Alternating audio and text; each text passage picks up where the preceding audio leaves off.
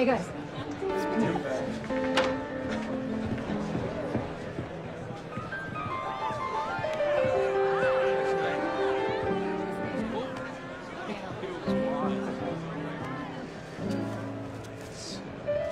How about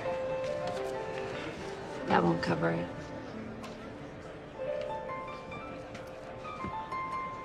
uh I'll come by tomorrow and bring you the cash. I'm afraid. Rules are rules, Pete.